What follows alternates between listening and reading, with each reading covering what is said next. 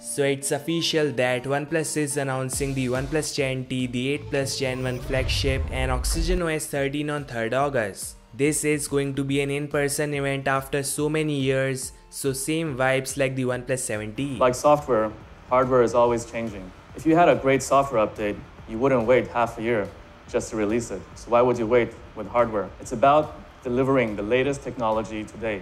And this is our approach with the T-line. The OnePlus 10T is coming in two finish, Moonstone Black and Jade Green. You will have some texture on the rear finish and the overall design language is similar to the OnePlus 10 Pro. Same squarish camera module but this time the edges are not sharp. It is somewhat like the Oppo Find X5. So a nice design, the front got a 6.7 inch high refresh rate display with 1080p resolution. The main focus of this device is performance and that's why OnePlus is using Qualcomm's 8 Plus Gen 1 powerful silicon and this along with 16 gigs of RAM and max out 512 gigs of internal storage. What does T actually mean? To be honest, our team just had a little bit of fun. There's a certain other company that has a S line and S plus 1 equals T.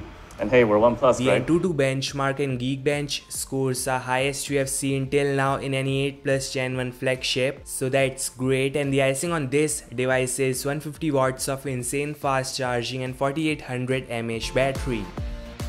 Now the highlight of this show is not the OnePlus 10T but Oxygen OS 13 which is gonna be the main deciding factor for most to pick OnePlus or not. So yes, we do have a new lock screen, shows new now playing design. There's a small dual clock like Pixel UI, but best part is it's not blocking the canvas AOD just like iOS 16 lock screen. Finally, we have same Insight AOD and the reason they are showing AODs in this teaser is cause rest of the UI is like ColorOS as per leaks. I have no idea what went wrong because back in March they did say OS 13 will be close to stock skin but as of now the internal testing shows OS 13 is similar to ColorOS with no too less changes. This for sure is going to disappoint us all and many I know are even switching to nothing or Pixel or Moto OnePlus had their chance, they had time, and they are not a small brand. So once again, the official launch is set for August 3. They still have time to change the UI and that launcher which most of us hate. Thanks guys for watching. Your thoughts in the comment section below. So make sure to subscribe. I'll meet you guys in the next one.